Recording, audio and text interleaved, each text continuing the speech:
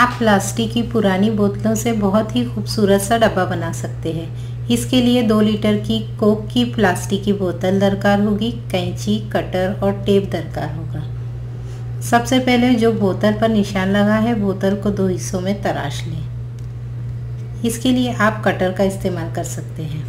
इसके बाद जो ऊँचे पेंदे वाला हिस्सा है, इसमें पाँच लकीर खड़ी खींचे।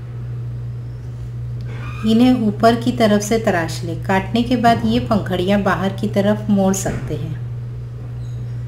इसमें पाँच पंखड़ियाँ हो सक, होगी। इसके बाद में इन पकड़, पंखड़ियों के सिरों पर मुसलस बनाइए और इन्हें कैंची से तराश ले। इसकी पंखड़ियों के सिरे थोड़े से दायरे नुमा हो जाएँगे। इसके बाद एक एक करके पंखड़ियों को अंदर बंद कर दीजिए। और आखिर में आपके डब्बे का ढक्कन बंद हो जाएगा। खोलकर इस डब्बे के अंदर कुछ रंगीन मोती वगैरह रखें। एक एक करके पाँचों पंखड़ियों को बंद कर दें तो फिर आपका डब्बा बंद हो जाएगा। कितना खूबसूरत और दिलकश है ये डब्बा। आप चाहिए तो इन पंखड़ियों को खोलकर डब्बे का मुँह खोल सकते हैं। और आपने चीज़ें अंदर रखी थी, उनको बाहर रख, निकाल सकते हैं। इस तरह जो ऊपरी हिस्सा बोतल का है, उसको भी पाँच बराबर हिस्सों में काट लें। और इनमें पंखड़ियों के सिरे हैं।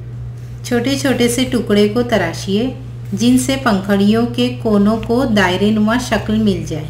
इसके बाद पाँचों पंखड़ियों को आप एक एक करके, पंख, एक के बाद एक करके अंदर की तरफ़ मोड़ते जाएँ।